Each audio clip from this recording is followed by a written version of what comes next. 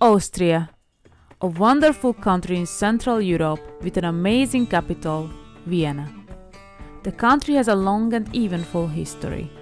Numerous tourist attractions are offered to children and adults alike, such as skiing or snowboarding in winter, road trips, sightseeing in historical cities, and other possibilities to relax during the whole year.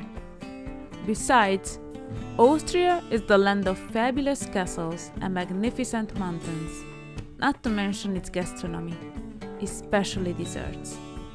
Did you know that Austrians created the croissant, not the French? In this episode, we are going to take a culinary trip to Austria. Hello everyone, I'm Vicky and you are watching the Mindfilmness YouTube channel. A lot of people believes that croissant is a French pastry, but basically it's not.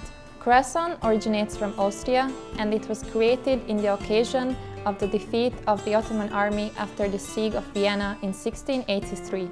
The original name of the dessert is kipfel, which is a crescent-shaped pastry referring to the Ottoman flag. Today we are going to show you how to cook this traditional Austrian dessert, the ancestors of the croissant. Creating the vanilla kipfel is very easy. You just need plain flour, butter, two egg yolks, sugar, vanilla sugar and grounded almonds. First of all, I'm gonna mix all the ingredients in a bowl. I need two egg yolks,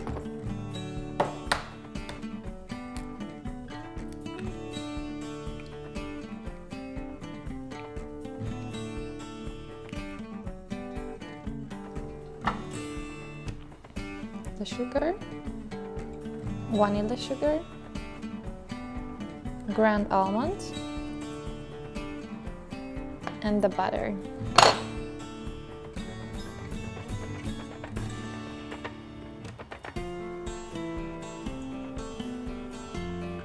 And now you only need to mix all of these together.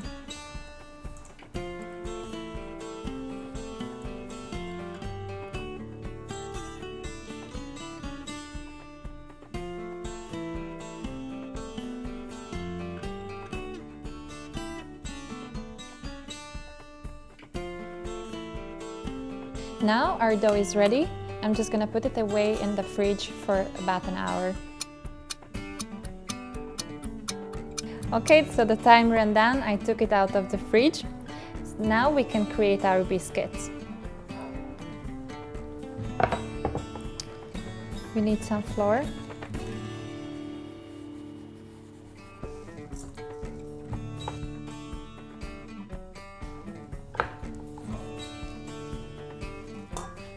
Cut down a piece.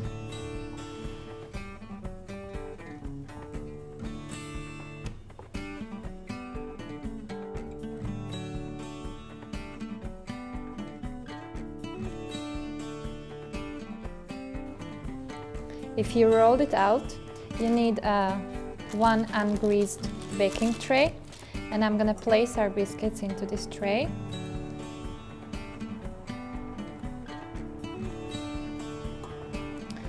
But before we are creating these crescent shapes,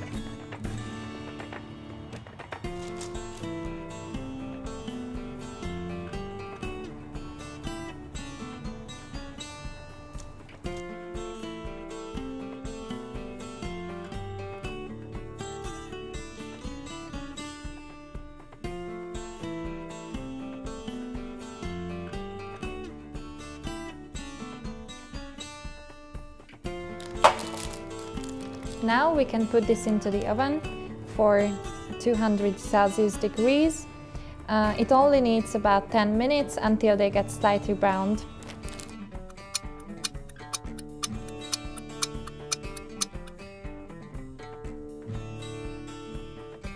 Our biscuits are already baked. Enjoy!